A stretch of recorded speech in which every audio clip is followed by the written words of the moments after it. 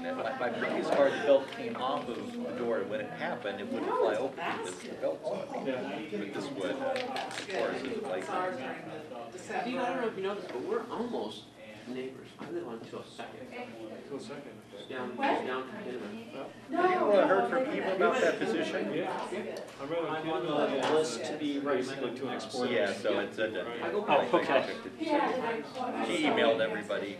and I try to go The twenty-five. email, because it's public, is not Well, you'd be secret, the but one. I looked it up just to confirm it on the I have website so busted that I myself. wasn't revealing Oh. any semi-secret And I information. thought, in. damn. Yeah. Awesome. I, I, I pushed for you, you were the only I really male tried to get on down, but you know, you turn the, on the the two oh second. that Yeah, On Kinnaman. yeah. I'm Um, thinking, I'm so thinking either the. Hillsboro or Portland, you know, Which is, you know, and you just, Either here or gas and there, go, but and it's like, something whoa, like that, dude, you slow really down. need to have a Yeah, well, you, diversity. like, when you go towards hundred ninety-eight. I'm pretty diverse. Yeah, and, and Yeah, having when I'm headed fifteen towards 198, you know, just. I'm doesn't headed matter. towards I'll, Portland. I'll mix Yeah. things So up. I'm thinking, go, go, go. Yeah, you're just. Folks, you guys wanna get started? You worked out, yeah.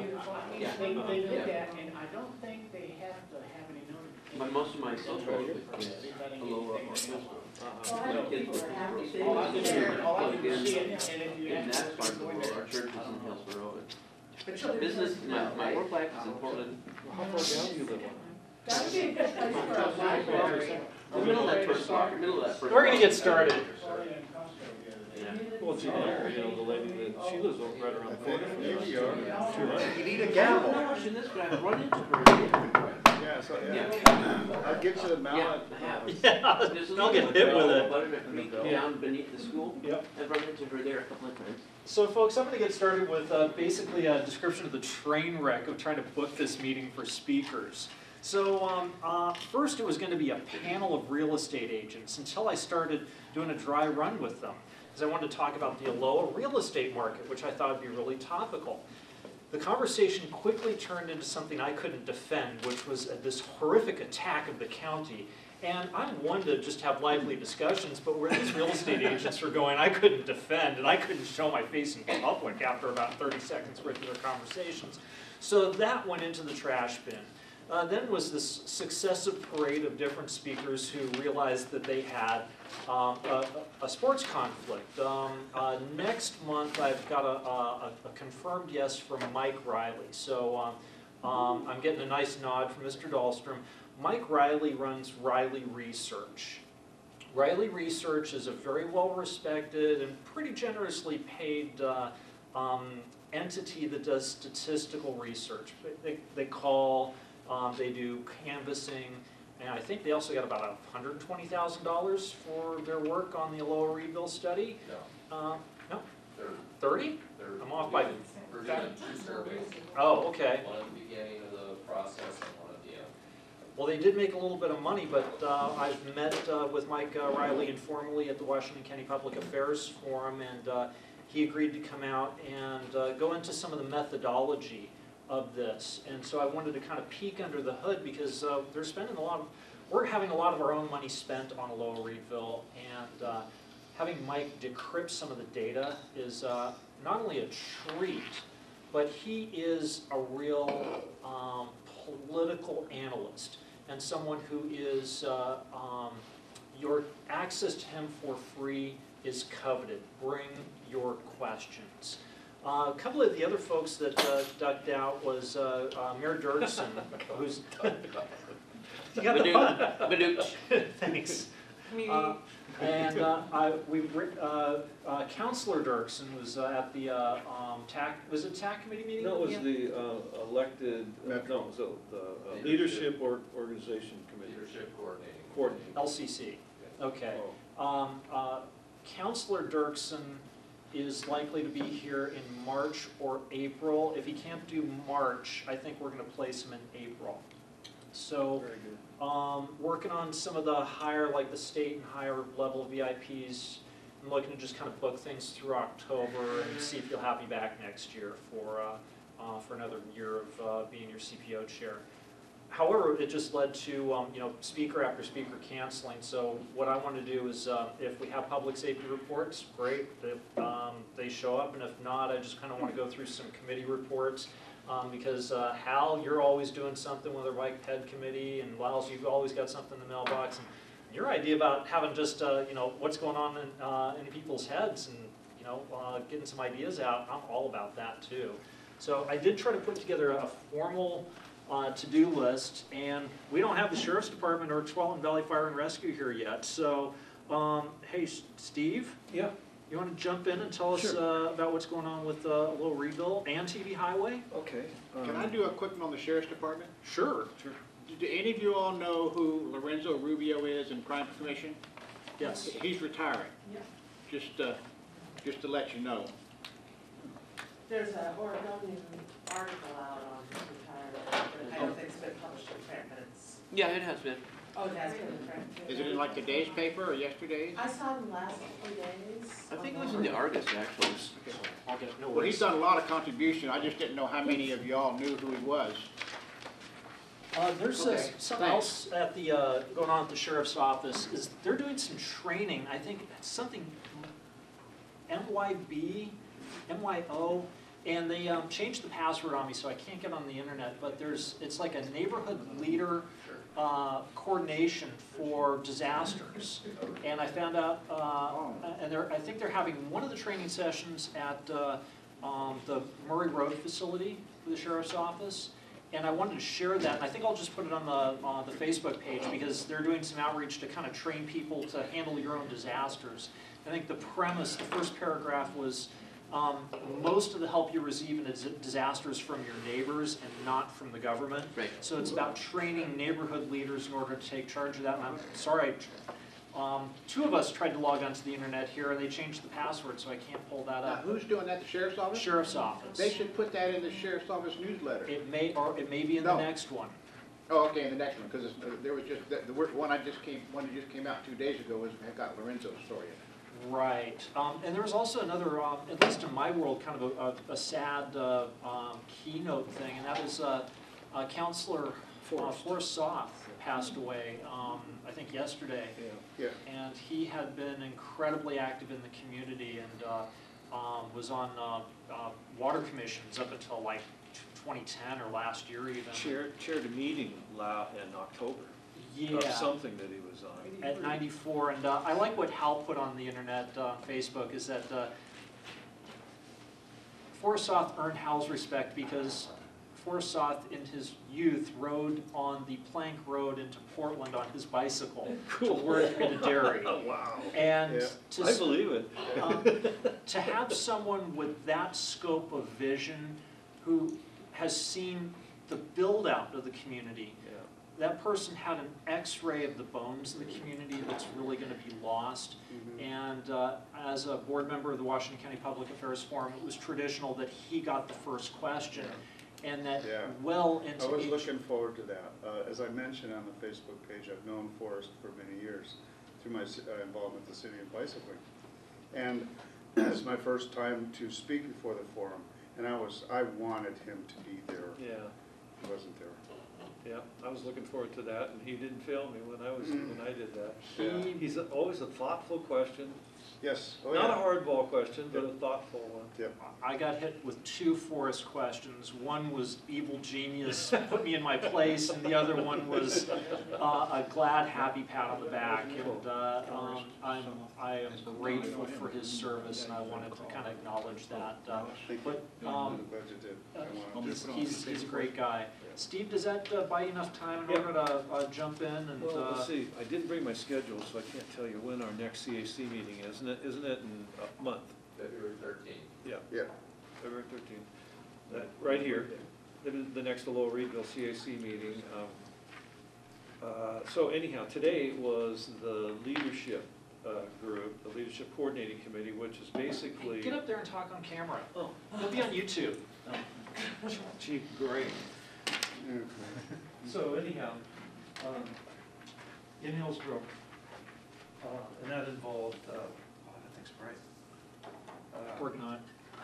That involved uh, the uh, elected leaders, regional, two metro councilors that represent this area, or one elect and one uh, existing metro councilor, uh, Kathryn Harrington and uh, um, uh, former Mayor Dirksen. And then, um, of course, Andy Duyck was the chair of the meeting, Chairman Andy Duyck of the Board of Commissioners. And Commissioner Dick Schouten, of course, was there, and um, county, uh, the uh, county administrative officer and uh, the head of the Department of Land Use and Transportation, people from the uh, mayors of Beaverton and Hillsboro. And plenty of staff people and ODOT, uh, one ODOT people, TriMet person, Clean Water Services. So basically, the service providers and the elected officials for, for this area, which is, uh, the, that, that make up that group. Now, I'm on that group, um, as a, uh, non-voting member representing the CAC of the, uh, of the Lower Reedville Planning Group. And, um, uh, along with Jerry, she wasn't there today, but we're the, we're the two representatives from the CAC that go to that. And, um, I thought it was a good meeting. Um, Mike uh, and the staff, as usual, did a good job of going over a lot of the stuff that we've seen in the past, recent past, uh, and some new stuff um, that has been going on in the last year. I should say that there hasn't been a leadership meeting, leaders meeting since uh, December of of 11. So it's been oh, 13 months. So, um, so quite a bit of stuff has happened, of the- most of which we knew about in the, already, in the LOA process that we've discussed.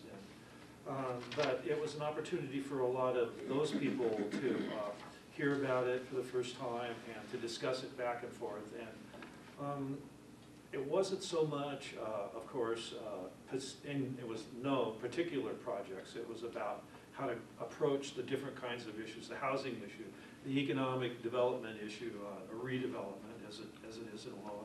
There was a, a way to discuss uh, uh, the fact that we're starting to be, to begin to discuss the transportation part, because of course, the transportation part of the Aloha Reedville plan is uh, the TV highway corridor study that's uh, been on kind of the back burner and doesn't meet very often, so I don't get to find out too often about it, do we, Hal?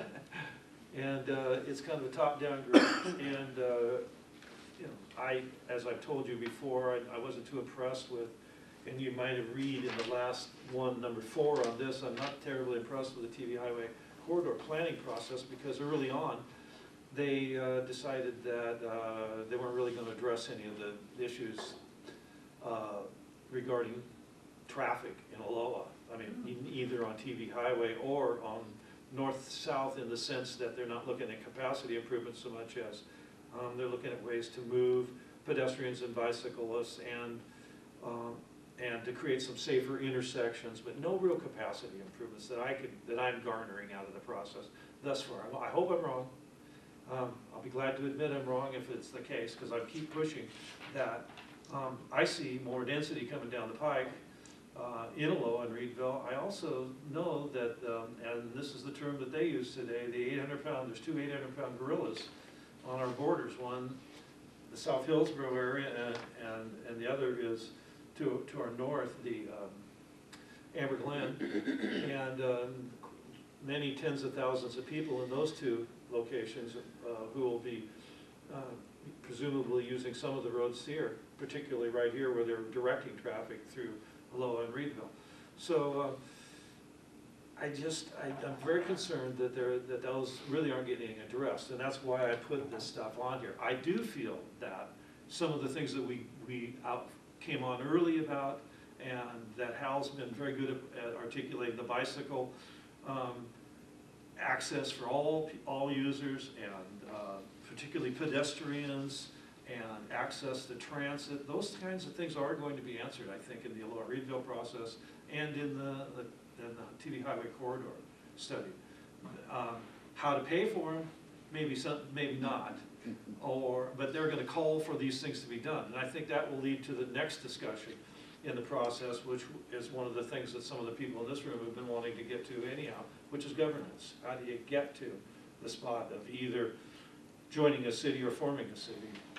Um, Yes? Question for Steve. Um, I noted with interest that the Hillsboro School District uh, did not seed that, that area on Long Tile Flat in Scholls. And that was a good decision on their part. But interestingly enough, what that means for all the rest of us is that's going to knit that community socially with Hillsboro. Yeah. In terms of youth sport leagues and Yep. it's gonna pull those people over the mountain into our neck of the woods. Yeah. Uh, in a major, major way. Well, those kids go to a Hillsboro school now. It's just they're gonna build new schools over there, and some of those people were hoping those, their kids were gonna go to the new school. Well, I mean, at, at Current, they're gonna go to Hilhi. Yeah, but they are right So they're gonna come over the mountain, and- I mean, hundreds of them, not Yeah, dozens yeah, of them, You're right. hundreds of them. Uh, So it's interesting to note from a, from an impact on our community, all those people are gonna come over the hill and come right down into Aloha. Yeah. And then go to Hilhi. And, uh, and play youth sports, they're gonna be in Hillsboro soccer teams and Hillsboro baseball teams, because those social groups tend to fracture with the school district boundaries. So it's gonna pull a lot of people over the mountain. Who knows, maybe Hillsboro will build a school there of some sort, probably not a high school. Well, one day, ultimately, that'll all be urbanized, but I mean, the, the near-term impact is there's gonna be a lot more people coming over that mountain into Aloha. Yeah. As they build out that community. Yeah, and it's interesting, another kind of twist on that is it's gonna be an urban area. Hillsboro says it's not gonna be in Beaverton. Correct? Is it gonna be another urban unincorporated area? Well, actually, it is in Beaverton.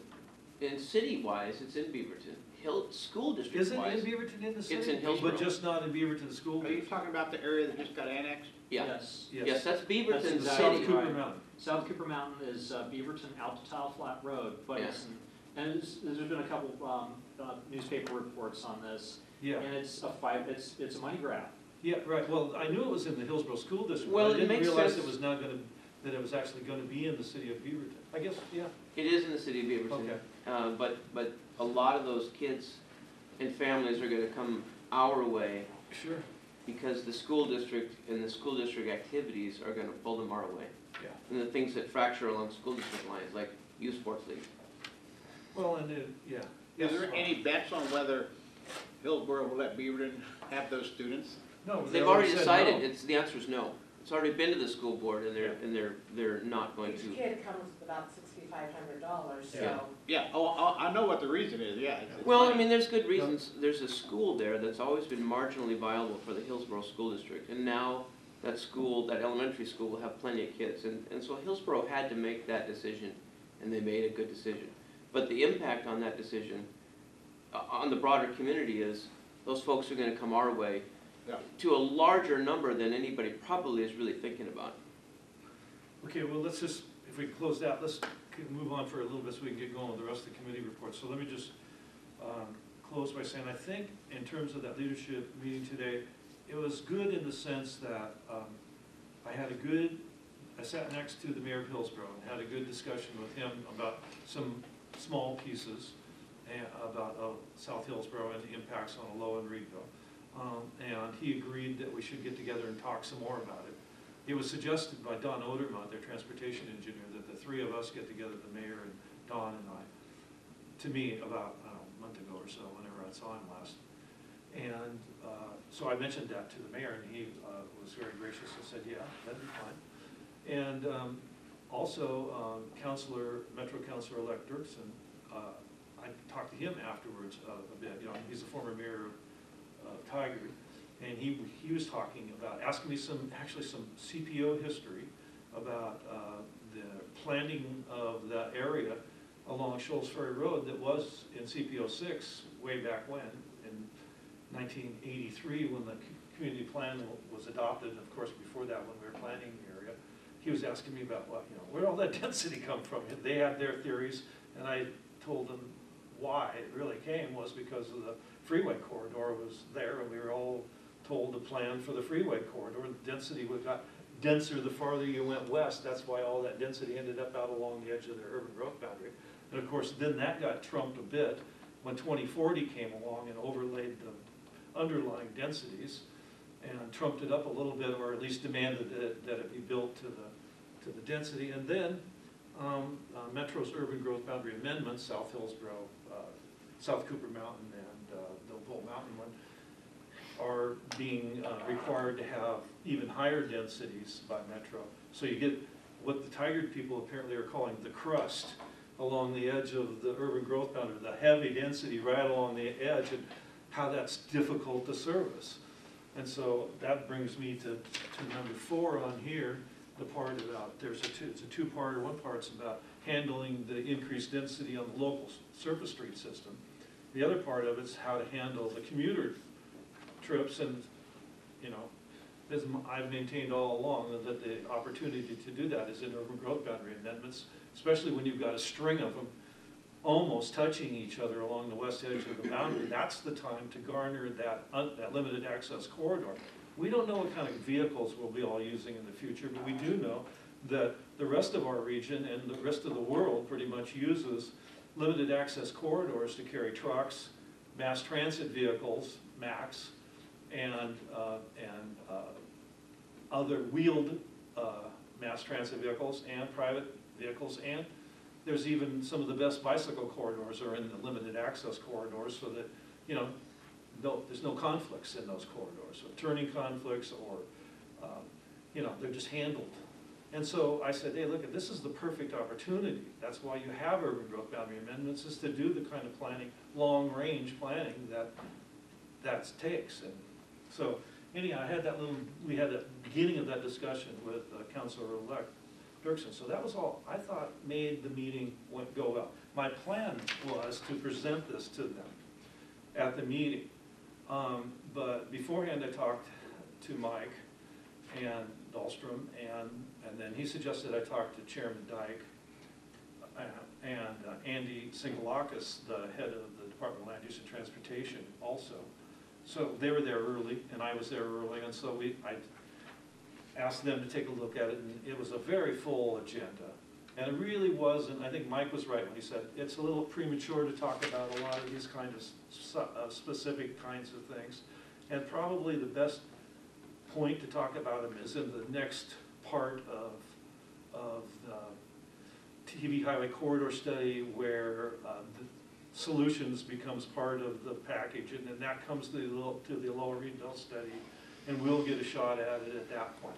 But um, interestingly enough, a couple of these things kind of came up in the process of the other discussions that other people were bringing up, so I did get a chance to kind of hit on it, especially, it's too bad Sandy and Janelle aren't here, but the flooding one came up with, uh, with uh, Clean Water Services, mentioned uh, that they've been trying to deal with, uh, it's that time of the year when people are getting flooded, and as usual, Butternut Creek is causing problems, and so Steve, I I, hate to prompt you, but I'd like to prompt you to drill down on that point, because I was at that meeting as well.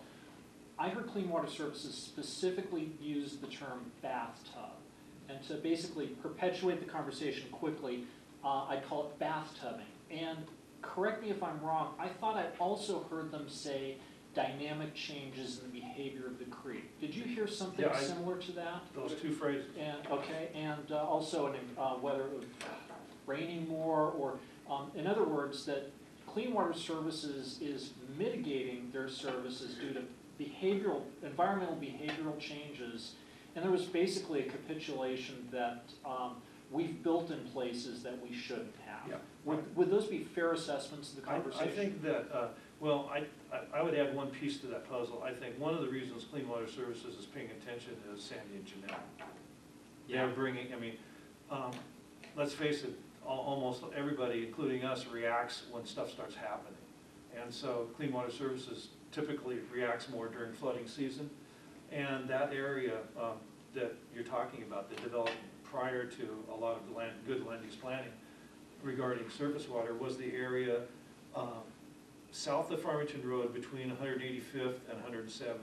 That's the headwaters of uh, Butternut Creek, one of the headwaters, but it's a, it's a primary lowland headwater. It's that kind of bathtub at the bottom of Cooper Mountain. And then it comes back up again a bit as it gets towards and across uh, Farmington. So then, but you got that, you know, long next to Bales Thriftway, you got that recreated wetland that surrounds the creek right there, then it swings around and comes along in between a bunch of subdivisions and goes under 185th and basically under the football field at a little high school, kind of, or portions of it, through big tubes, and then pops out again and runs between subdivisions 200 to 209th. And so I said, I mentioned that, since she brought it up, that, hey, we're, we're very concerned about that at CPO six, because even a few inches of rise upstream caused, could be caused by, uh, South Hillsboro, thousands of acres of rooftops and streets pouring into uh, Butternut Creek, yeah, there'll be swales and ways to slow it down. Clean Water's got some very good programs for slowing down the water and cleaning it up on the way to the creeks, but it still gets there. And it doesn't take much to flood that area up there because, like Eric said, those houses were built prior to good planning. You go up there and you can see where they just basically pushed the creek in between property lines and it, that creek moved around. It probably, maybe wasn't even a creek. It seemed to me there was just a lot of sog up that way when I was a kid. But there, there became a creek and, and, uh, and it turned corners and, you know, went through inadequate, uh, underroad culverts and so forth. Anyhow, I'd like you to take a look at this and, because Mike's, uh, told me just now that he's gonna send this out to that leadership group tomorrow. And, um, I wasn't aware that we were, that he was gonna do that, but that's fine. But I'm, I'm I'm wanting it to be something that comes from, not just me, and, but I got most of all of this stuff from the discussions we've been having and the survey that we took. Um, and the, and the flooding presentation, and, and it's been a persistent problem for many, many years, so it's nothing new. So, um, I'm just wanting to get an okay, and, and I realize it's a partial list, but part of the, part of the reason it's partial is because we're making headway on a lot of the other issues. Steve, would you be opposed to me calling for a vote at the next meeting to approve the document? Um, it'd be nice to have, it- have it now, so we had an approval when it went out. Well, then how about if we give people a chance to read it and maybe uh, call for a vote at the end of the meeting, if you That'd be remind me, but I'm not gonna let you run away, I got a question or two about the meeting. Okay. Uh, Chris from Leland, um, really caught my attention today. Uh, Leland Consulting, he talked about uh, the economic redevelopment. Uh, A Couple of things that I was just not happy about is that uh, he felt that there was no business advocacy. And I don't think the guy's paying attention to what's going on with the Aloha Business association. He Association. mentioned that, And, he um, mentioned the association, but then he, he said that, nobody's doing anything. he said that it was, uh, I think what he, he's talking about a different kind of advocacy than just business promotion. He was talking about how to, advocacy for redevelopment. Remember, he said there's not much opportunity to develop commercial or industrial in Aloha and Reedville because it's already developed. And some of it's not being utilized, but it's a redevelopment process. The lens I think he's looking through is that he's not finding a mayor or a, uh, a corporate city entity that would normally take this on. Which mentioned le- that. Leads me to my follow-up on this, is that, uh, um, uh, despite that Aloha Business Association almost bankrupted itself a year ago, having this big six hundred and fifty person event, uh, celebrating Aloha's, uh, uh, Yeah. centennial and engaging businesses and basically having a trade show for Aloha, that is, had escaped Chris. And that's, that's fine, Yeah. but my concern is that I, I, I have a personal bias, and I don't think urban renewal outside of a city is an appropriate tool, just because I think a city is the most appropriate vehicle in order to execute urban renewal. When we have a, a, a county-led governance that's afraid of committing to urban services, that was clearly the discussion is that, do we provide urban services? Well, yes, we kinda do, but no, we kinda don't, Well, we're Commissioner really. Schouten, And you we know, he was- really don't want to. no, well, he brought it home that we do in some areas, Yes. It- to a certain level. They- Right, but they've always, the county's always said, we really don't want Yeah, want they've to said they be don't in this want to. business. But at the, on the other hand, they formed the urban road maintenance district, the enhanced sheriff patrol district. We have some urban services. We have a sheriff, uh, that, uh, his name is Deputy Swa- Slaw? Swall, swall. And he does code enforcement. So we, we have the, you know, somebody doing that, but we don't have a lot of that. And that's part of the problem is we have this mixed message. And that's kind of what the county's wrestling with. But my concern is that, uh, you know, just casually, flippantly using urban renewal as a possible tool really brings in a lot of implications that are really messy. Especially since down the street in Beaverton, they made a big deal about it, urban renewal passed, the school levy didn't. And then the urban renewal didn't generate anywhere near the money that it, that they thought that it was going to, which left misset expectations all around. That was in the round? No, it was, uh, I think the round is City coming. wa- yeah, I think it was city, it was a large chunk of downtown, if it In, wasn't. in, in a core downtown Beaverton, I think is Yeah. what they wanted to do. Yeah, um, I think the economy faltering basically undermined that though. the revenue side of it. I don't even know that the county, a county can use urban renewal, can they? I think it's a city function, isn't it? Yeah, County, the county can do an urban renewal, but the, it's, it's an onerous process, Yeah. as is all of these processes. So, if I, if I may, Well, just make please. a, uh, uh, just a, a quick response.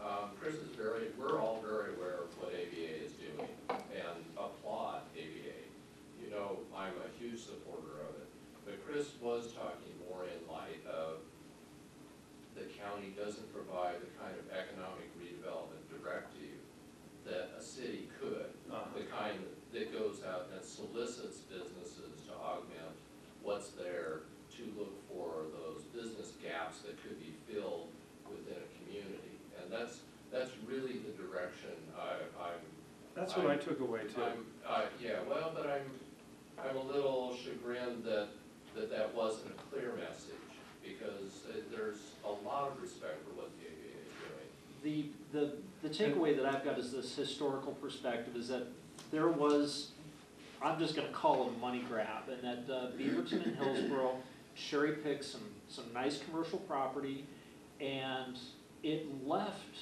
citizen-led initiatives to incorporate, or the ability to run a, a, a financial budget. Um, uh, it, it was the death knell for that, because one of the other urban services that the county's in is clean water services. And in most of the rest of the world, the city function also includes sanitary service. So the wishy-washiness of the county being, well, we're not really in that, but we have this franchise of clean water services. Um, it- Same can be said for fire. And yeah. police, with the uh, enhanced sheriff Yeah, patrol. yeah. They, they recognize the policing needs of an urban area is different.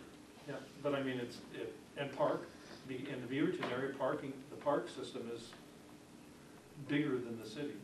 Mhm. It's just that the Reedville portion of the Lower Reedville doesn't have that benefit. So I, I thought, Chr- my personal takeaway is I thought Chris was, was off target from a historical perspective. Um, I, I just see that, especially from this group, I'm heavily biased because at the end of the meeting, Commissioner Schouten was just beaming about the library and that you guys I was gonna bring that up, really put your shoulder to the wheel yeah. and projected some alchemy that's hardly ever been seen uh, coming out of an un- unincorporated uh, community. Uh, A library with I five. thought Mike brought that up too, didn't you? The library, or was it just Commissioner Scott? Uh, It's, it- again, it's recognized, the community has stepped up, and, and that's sort There of was a picture. key to this whole discussion, but it also adds, I think, to the complexity of that discussion, Eric, you're absolutely right. Yeah. Yeah. This is, this is, this is a decades-old discussion Yeah. uh, with the county, and Well, and, and I, w- I thought, that I tried to get him to bring it up again regarding Chris's discussion about how transportation plays into the whole thing. And I thought that, that didn't get, I mean, it didn't get a second go-around of, of a discussion. Because, well, it probably shouldn't because it's part of the transportation planning with, that'll come out of the TV highway corridor. Of course, that's what we're always waiting for, it seems. And, and this group won't get together for another year, so, you know, the train will be through the tunnel at that point. But, you know, it's just, what, and I, so I said, hey, look, we have seen the, the popularity or the desirability of commercial properties along TV highway diminish as congestion on TV highway has increased. And, and that's not an unusual phenomenon in my, from my understanding in urban areas where people get on a road, they just don't wanna get off because they gotta go get in line to get back on again. And it's a commuter route, that, that's a sure sign that it's a commuter route, because those aren't local trips. And, you know, and that's what we've seen, and, and, I mean, I'd have to think twice if I'm gonna go to Big Lots from where I'm at. yeah, and you're not very far away. Yeah, I'm not that far away, cause it's a pain in the butt to get back going the other direction. And you can't can't get that. across Hundred Eighty-Fifth on Alexander because of I the usually go way. to Johnson, Yeah. go the, Yeah, Okay, Steve, I have a, uh, a comment, then a, two comments actually. The, the other thing is, in the urban areas, bona fide urban areas, there are things happening that are gonna impact us. There's a Walmart going in at TV High, or at uh, Cornelius Pass and, uh, and Baseline. Well, that's gonna impact us. Uh, that's a destination for, I mean, I, I think everybody in the Low is gonna wind up driving there at some Sure. point. So that's gonna impact TV Highway and all the roads that kind of cheat over that way, like two oh nine, basically two, through people's neighborhoods, and, uh, anyway. Uh, my comment on this, I think we're probably headed towards a vote, and I, I'm not being critical, Steve, but I do have a request. I agree with your sentiments, but your first sentence there in number four really, it makes it hard for me to support. Uh, I I don't think the CPO should be getting behind uh, things that deem a, a major public effort as a mischievous act. I- If you could just strike that sentence, and I would We offer up do that. the TV highway corridor plan and eliminate from has on, three, three lines down, and resume with does not address and actually attempts to underestimate. I, I'm actually okay with the hard-hitting nature of it, but it's just sort of a condemnation of the effort is, uh, It will turn the- your audience off. yeah, When they read that, they're not gonna really look at the rest of it. right. Yeah, yeah, well, uh, Right. that was kind of, let me explain to you why, here on television for everybody. Um, Are you aware of the, of the background of TV highway corridor study? One of the major reasons why we're having a TV highway corridor study, and it was pointed out in the meeting today, was that, that there was different designations on TV highway corridor Mhm. In, on different people's plans. Well, there didn't used to be. That came about when South Hills, Hillsboro decided it wanted to move south forward, forward on, on urbanization of South Hillsboro about fifteen years ago now, fourteen or fifteen years ago. And, um, there was a whole lot of sites being proposed, uh, by Metro, um, all around the urban area, everywhere. Mhm. And um, We've all there seen was how well some these of those uh, out. matrix of desirability matrix. Mhm. And one of the very important matrix was accessibility, of course, Mhm. whether or not you could get to there and what kind of transportation future did that site have. You didn't, you know, so um, Hillsboro and Metro, and I'm not afraid to say this because I've witnessed it, got together and decided that uh, TV Highway was, you know, you've seen these numbers before, TV Highway was about as full as it is now fifteen years ago. Because highways only get so full, because people find a different way to go when it's full. So it was about as full as it is now, maybe not for quite as long in the morning and night, but, um, so, uh, South Hillsboro didn't score well in that matrix, was, in fact, didn't score well at all. And so, uh, they got together, like has been known to occur, um, one dark night and decided that if the regional, regional transportation plan was going through an update, why, why couldn't you just say on the regional transportation plan that the TV highway was a freeway? Then every modeling process you wanted to put South Hillsboro through would go, gee, there's all kinds of access here. So what they did, and you can look this up, it's still that way, you know, on some plans, because all of them haven't been changed yet, but, and I'm gonna get to how this plays into corridor here. From Murray, basically, maybe a little bit farther east of Murray, to, um, Witch Hazel Road, to, uh, Brookwood Road, was designated six-lane, limited access facility, no driveways, and overpasses at three intersections. And ODOT, whose facility it was, said, we're not gonna build that, you can't designate that on the regional transportation plan. And then, I- and I have their written testimony, if you don't believe me, I've saved a copy of their written testimony saying just that at the RTP hearings in two thousand, or two thousand and one, or whatever it was. Got them in a file at my house, and, uh, but they went ahead and did it, because that meant that South Hillsboro would jump way up on the accessibility matrix. So now, once they, you know, years later, now that it's finally in, took them all this time, they didn't change it, they left it that way. Soon as they got it in, what's the first thing they wanna do? Take that designation away.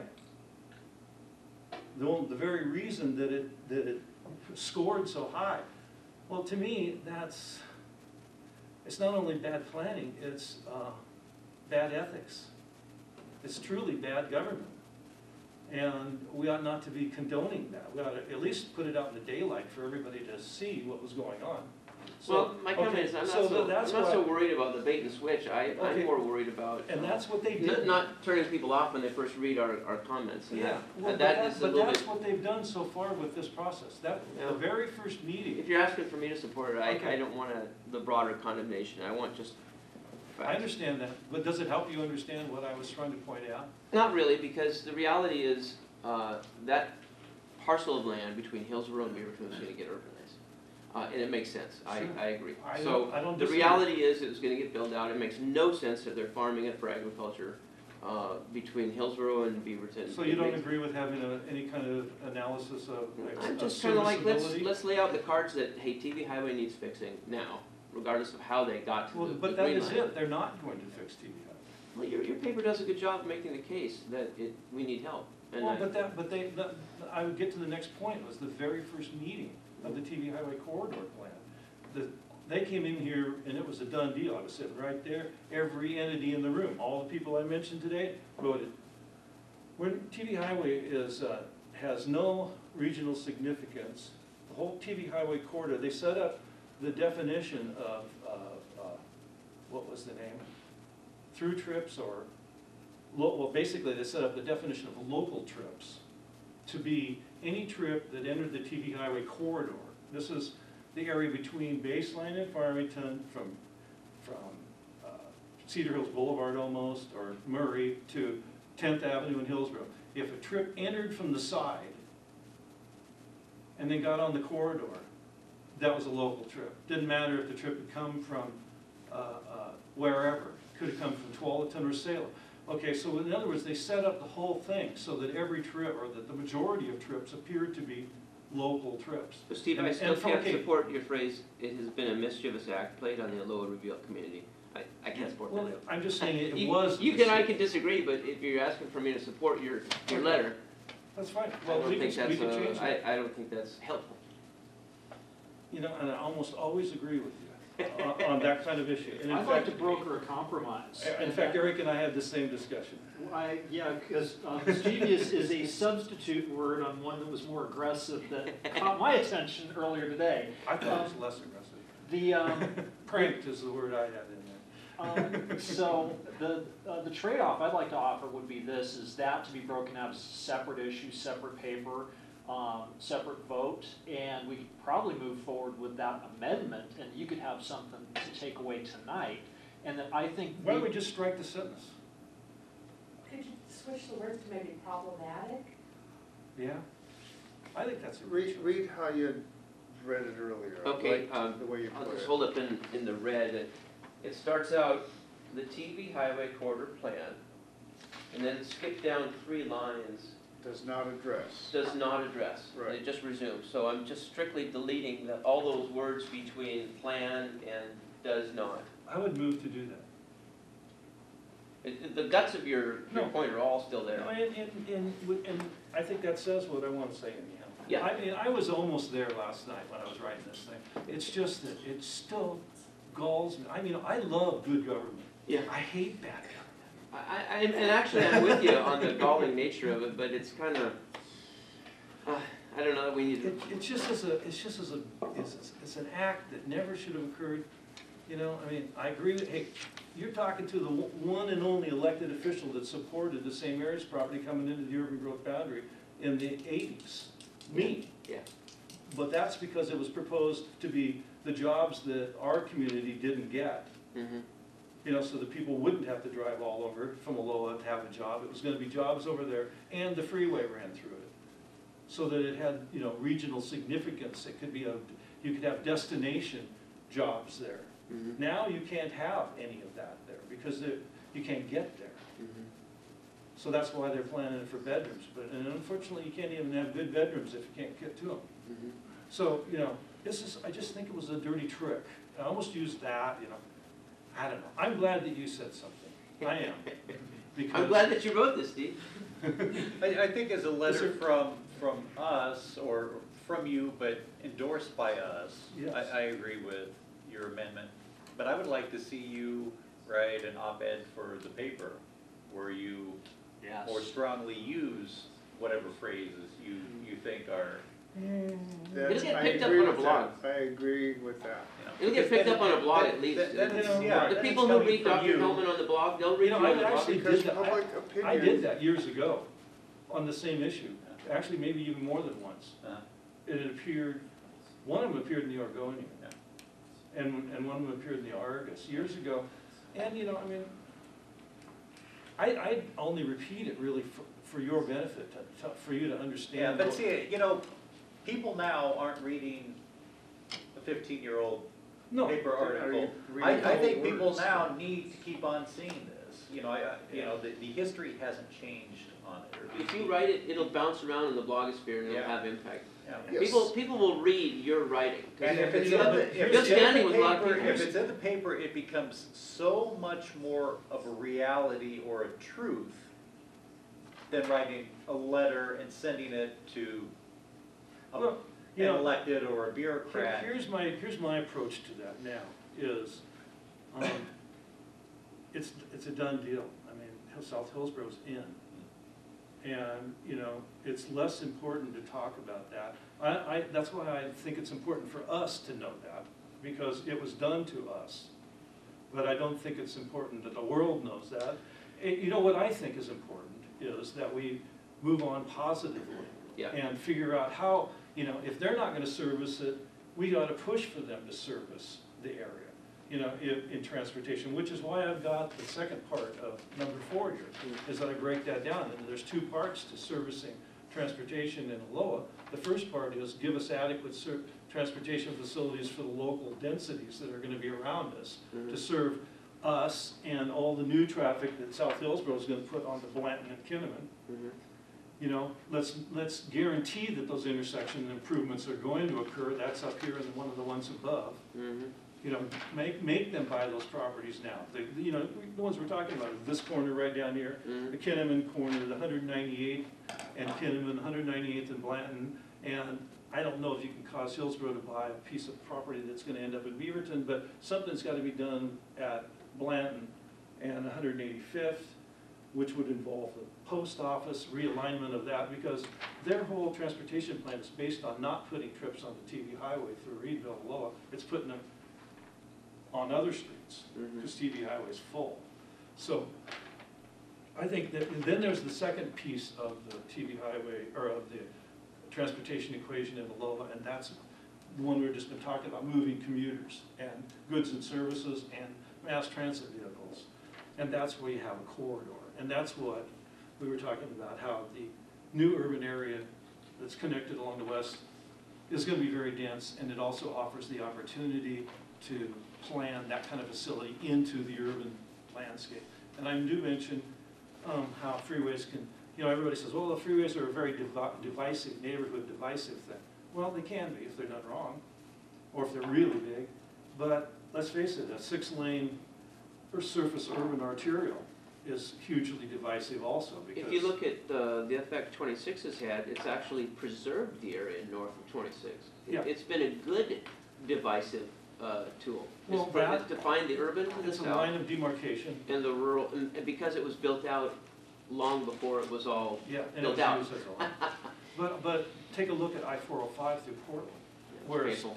part of it in southwest Portland is below grade, and the streets all continue right over the top of it. Yeah, a block is gone, you know, a big swath of a block is gone, but urban life continues as if it isn't there. And then you get into northwest where it's raised above it all, and everything still exists underneath it. So, you know, it can be done in a way that you can move those kind of trips. I think it's more divisive to have giant surface arterials intersecting with giant surface arterials, yeah, where you got two or three turn lanes. Murray and TV Highway. Well, and that's just the beginning, it's gonna get much worse, you know, Yeah. when you start having dual turn lanes all over the place, and, Oh, yeah. you know, I mean, walk wait signs are, you know, that's a tough, it's a tough deal, how to move pedestrians. Right, especially aging population. Exactly, and so that's why, when you can separate intersections, like have small-scale overpasses that are cityscape sizes, those can be very effective tools. Also, limited access facilities can be very effective tools. Let's face it, we don't know what kind of vehicles we're gonna be driving or riding in in 10, 20, 30 years from now, but we know one thing, is that part of the whole puzzle of a good urban transportation system involves those kinds of trips, both freight and people, that move, need to move longer distances. And why have them starting and stopping and starting and stopping and leaving smog all over everybody's neighborhood? We call for a vote with the amendment. Yes. Do do we all know what the amendment's gonna be? Are we gonna change one word or change a No, phrase? I'll read it. We're we're deleting uh, uh, about three Yes. printed lines. Is there any more discussion back here? Well, I, I have a question. Uh, you been talking about TV highway, uh, out this way. Uh, you haven't mentioned anything about Farmington Road. Now, um, how is that going to affect that down there? Because, uh, the South Hillsboro Highway, I mean, South Hillsboro isn't going to be that many blocks from the Farmington. It's actually gonna extend all the way to Farmington, right along two hundred and nine. So you're going to have a lot of traffic down there. Yeah, well, I haven't it- heard you say anything about that yet. Well, I, it, that's because it's not mentioned in here because the planning that's already going on is, as, has a phased-in building it to four lanes all the way out. First phase is in the immediate group, correct me if I'm wrong, Mike, it's in the, in the very near future group. Uh, projects would take it from four lanes from Kinnaman, where that ends now, you know, Kinnaman to Farmington, to 185th. And then the next, and then in the next mid-range, I think it is, to far range, moves that from 185th to 209th. So it's, that's already called for in the plan. I- That's what I was wondering. Yeah, because we, the truth is, most of that right-of-way is already owned by the public. When those uh, developments went in along there, uh, almost, I mean, al- most of them have occurred since um, that was on the planning maps. In 1983, when the community plans were adopted, a transportation plan was also adopted, and, and Farmington Road on that transportation plan was five lanes, all the way to the then freeway that was on the map also. So, which was just past 209th a little ways. So, it, it- so they began requiring the, as the development along Farmington occurred, that, I forget what the right of way is, and there's like 110 feet or something like that, isn't it, Mike? I, I would make a statement to that. It's, it's some, it's somewhere around hundred feet of, of right-of-way has already been captured along there. So that's a, usually a big chunk of the expense is buying right-of-way. I still think there's a few properties that were already old, existing properties along there, right around 185th probably, that, that they haven't given up the right-of-way yet. So, so some properties would have to be purchased, but, so, yeah, that's, you're right, that's a necessary part of the equation, and it's already in the pipe. So I, that's why I didn't bring it up here. Likewise, some other improvements, some very similar ones. Um, I think, though, that 209th of this being proposed in, in the improvements as a three-lane road, I think I've been able to determine that, which it's been called for to be a five-lane for many years also. And in fact, uh, people gave up uh, a 70-foot right-of-way, no, not 70, a 90-foot right-of-way. Half, the, the east half of a 90-foot right-of-way was required for developments along 209th. That's why you see that big broad area beyond the street as you're going down 209th, that's before you get to the sidewalk, that I mow and keep the trash out of for the first section along here south of, of Kinnaman for the last 60 years. yeah. But uh, anyhow, yeah, that was required to be given up, but unfortunately, uh, they're only calling for that road to be three lanes, which I think is very short-sighted, and I brought to their attention in the past. And um, it also means that if they don't require more right-of-way from the South Hillsboro folks, those guys won't have to give up anything in terms of right-of-way, and the whole thing will built on the stuff that I gave them, you know, and that everybody else that lived on this side of the road gave them, which irks me to no end, when they're the ones that are gonna be putting all the traffic on, it, and it's still gonna be a major north-south access way for a long, long time. The people who are really gonna take it is the folks uh, north of TV Highway on two oh nine. Because what they've done now is they've built a destination, the Quatama, uh, Max line. So that, that whole corridor between two oh ninth and you wind around and you get on Rock and then you wind up on two oh fifth, that's gonna be a major north-south It already is.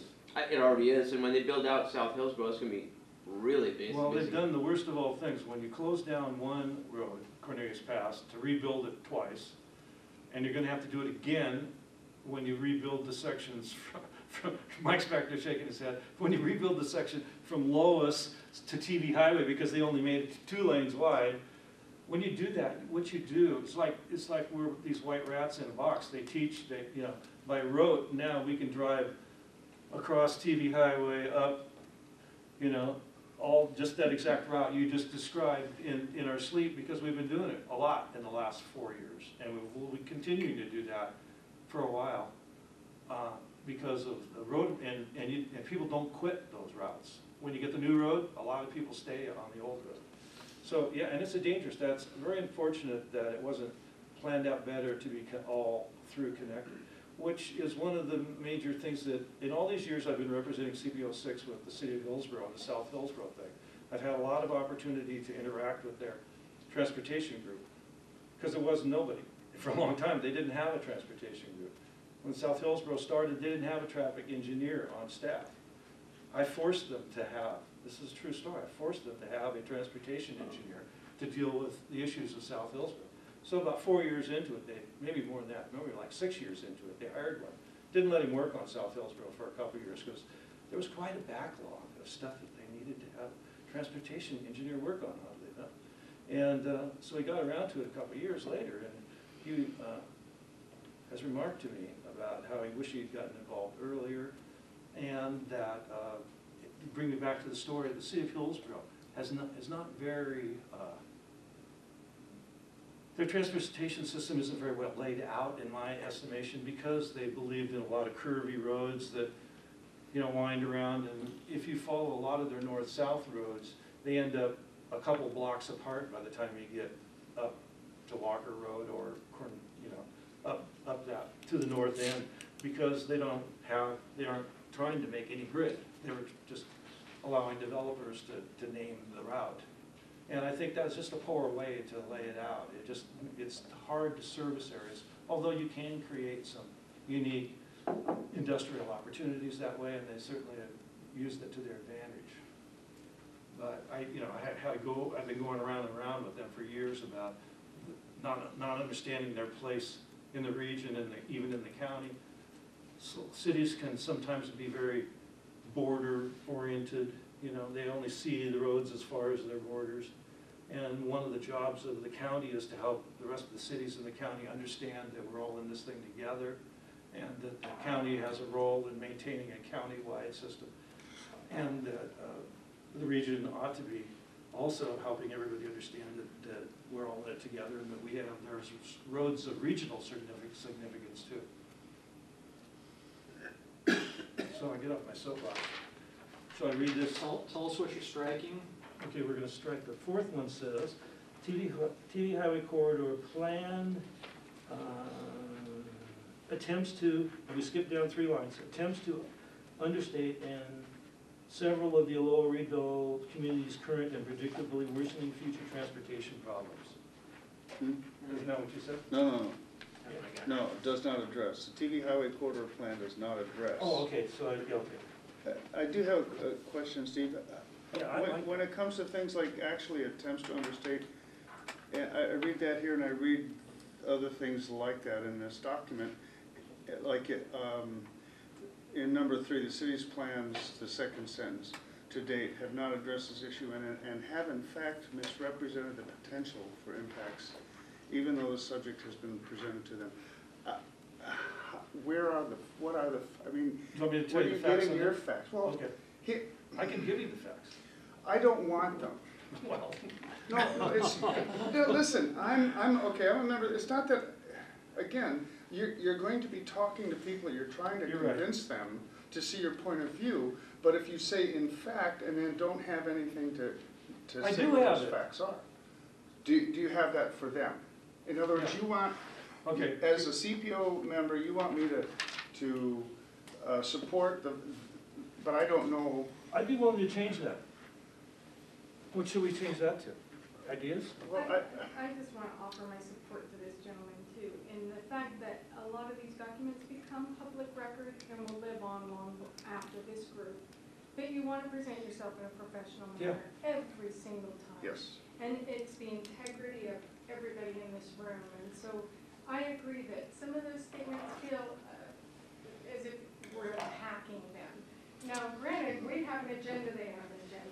You know some history there, but I think for the printed piece, for the written word, that it should just, um, raise to a higher level. Let's do that. Stay up there. Could you, So, could you so, and that's my, so that could you throw me my begs my other question.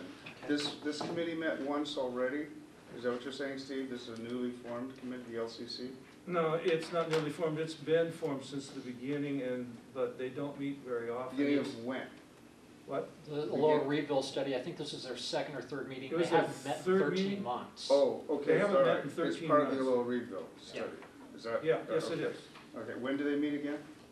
Early June, early summer? Probably early summer. Okay, so here's, here's what I'd like to, i- if you don't mind, Steve, is, and with what you said, uh, I'm sorry, I don't recall your name. Okay, it doesn't matter. It Doesn't matter. It does matter, but uh, anyway, just to soften a little bit so that we're not attacking, um, uh, What do you want to strike? what I- I, I think, what uh, I would like for Steve, I'm asking him to bring it back at our next meeting with some of the cha, modification to the language, so that. Well, why don't we just do it now so everybody's happy? I think we Well, did it on the last one, didn't we? Right, but see, it's after eight o'clock now, and, uh, I mean, this, I, this wasn't, I don't know, I guess I'm okay. I'm okay with it, because I really, yeah, I'm. Um, I'm not Well, if you bring ready it back, to- you could maybe add something to it. Um, Well, you could keep in the harsh language, just back it up with some facts. Well, the, uh, the hard-hitting nature is okay, but the uh, sort of condemning of the effort, I think, is, is, is problematic. But, uh, because it condemns a lot of people who have really worked really hard. Um, Well, But- let me give you, let- can I give you the background on the flooding one? That's okay, I know, I know the background, I, I'm, I'm totally there, I know, I know the neighborhood's had flooding problems. No, no, it doesn't have anything to do with that. It Has everything to do with how, uh, their plan to handle surface water. Their plan to handle surface water doesn't say anything about flooding upstream. Yeah. Okay, and their plan to handle surface water, which would, might occur if, when you put lots of water into Butternut Creek. Also, it misrepresents all the water going to Butternut Creek when a portion of it comes east. I mean, they completely missed it. I brought this to their attention at their very first open house over a dozen years ago. mhm, And then, um, to my knowledge, they never fixed it. mhm. You know, so I mean, there's, I mean, they've had a dozen years to No, to and I'm not saying don't, don't, don't hammer them with the facts. Um, But if we're gonna table it for next meeting, something that's on my mind, I was gonna actually uh, suggest we bring to vote next, uh, a- a- an endorsement from the CPO six is to support the city of Hillsboro's efforts to restart the west side bypass discussion. Yeah. And I don't, we- we don't wanna call it west side That's what- bypass, That's because what that's this one does at that's the end. radioactive, well, it sort of confuses the issue when you talk about undergrounding the four oh five. Uh, I would, uh, the phrase I like is the West Side Parkway. Because, uh, if you lived out east, the BW Parkway that connects uh, Baltimore and Washington DC, you think you're driving through a forest, but you're actually driving through a very heavily urbanized area, but the parkway is so well done. You have the, the through freight traffic and the, and the commuter traffic, and it, and it's just really nice. Why can't we have one of those here? We could, if we, if we set our sights that high. On a parkway that would have bike lanes and inviting pedestrian crossings rather than death traps, and, uh, Well, the problem with, with the west side bypass is where to put it. well, we gotta start thinking about it, cause it, it needs to be done. Oh, done. I, Yeah. I personally, I one hundred percent agree with you. Yeah. It's just, uh, Yeah. The David old Denning footprint or is dead. Jerry We need a Williams new willing to footprint that's discuss further west. we're running. What was the old footprint? The old footprint, I think, was the Cornelius Pass right away, essentially. That was the second, the first footprint was one eighty-fifth, then they pushed it out to Corn Pass, and No, that's Um, not true. First footprint was, and I have the maps from the sixties. Um, the first, in fact, you also sent me one of the maps from early times, Okay, that it was followed the BPA power line. That was always the way, because the idea was, don't go over Cooper Mountain, go around it. Mhm. So, and in fact, Yeah, but Um, the BPA power lines are right out here. yeah, but, no, but they You're swing. talking about the interior ones. No, The I'm B- the- talking the about ones this through- one. The BPA Beaverton right or here, out here? Cornelius Pass. BPA power lines, these ones are over here. It came down through that valley that And then- Cornelius they- Pass those- takes those- down. Those don't go Burlington. over, Ash. they don't go over Cooper Mountain. They go around it. They go o- around Clark Hill Road. I think the reality is the West Side Parkway needs to be envisioned considerably further west. Well, it doesn't do the same thing. I don't, I don't think you understand spa, urban freeway spacing, because you don't, you It's don't. true, I don't, but uh, Well, I'm just, I'm trying to. the old explain- footprint's dead, that's for sure. Well, I don't think so. Show, show me a way west of Hillsboro that you wouldn't have to cross the Twelve River a bunch of times and go through uh, vast amounts of, of uh, floodplain. It's just not going to happen out there. And even if it did, it wouldn't do anything for the urban area in here, because it- it's too far. You, you need, you, you need proper spacing. It's like, um, it's like anything else, if you, you know, if you, if you, if your arterials are spaced up according to how much traffic they have to, I mean, are sized according to how much traffic they have to carry. If they're required to carry, uh, traffic that would rather be on a limited access facility, then they have to be very large. And people aren't gonna drive eight or ten miles to go get on a freeway to go, to go around. Also, there's no good place to get through the mountains up there, or to cross onto Sauvie's Island if you did. So there's, there's opportune places to do all of those, and they've been determined a long time ago. Steve, Yeah. in March, April, or May, when we have Counselor Dirksen out here, I think that is the person to really have the discussion and to put the pressure on, because north of, um, of, uh, uh, TV Highway is gonna be Counselor Harrington's district, and the flexibility, I think, for siting is gonna be on the south, because it's not built out. Yeah. And I, I think we should postpone, we should involve that, we should also invite Janine Roostad or Don Odermott out to that discussion and present a policy statement from CPO six in terms of whether or not we want it, and if we want it, where we want it, and give some methodology about where we want it, but I, it's not a discussion for tonight. What I'd like to do is wrap and either take a vote on that, or not take a vote on that, but decide that next, because we got other committee meeting Yeah. reports, we gotta, we gotta move on. Okay, so how about if the, number three, the first sentence stayed, second one, the city's plans to date have not addressed this subject, and then strike all the rest of that sentence, the northeast portion of the planned community drains east into Reedville Creek, and so forth, and then I just outlined where the water goes. Okay, so we're striking N, From af, the, uh, From on the this third issue- line down, after addressed, addressed, period, and so Yeah. this issue onward, and and not been addressed, it could just be that, could just be a period. okay, And then the next two lines, minus the word "the" at the end of the second one, would be stricken. So we would strike this issue and have in fact misrepresented the potential for impacts east, even though the subject has been presented to them for over a decade. Yeah, So that's all gone, what about the next sentence? I think that that's correct. I mean, you know, that's what we're pointing out, is that their plan doesn't, doesn't show that. Okay, so then we would also strike on number four, um, we would, we would leave in the TV highway corridor plan, and then we would strike has been mischievous act played on a lower Reedville community, um, then the entire ne- next sentence, and then we would resume at, uh, after, on the, the fourth line down, it's certainly, we'd strike that, but then we would continue on. So it would read, the TV highway corridor plan does not address comma and actually attempts to understate this, uh, several of the lower. No, you excuse- can't ta- take that part out. And then you just, you just go straight to, uh, let's see, the TV highway corridor plan misstates several of the lower Reedville community's current and predictably worsening future transportation problems. Add the word misstates, uh, right at several, and strike everything before that. Has everybody got that? No, I'm not seeing, I'm, I'm trying to find it. My suggestion's up there with you with the red ink on it.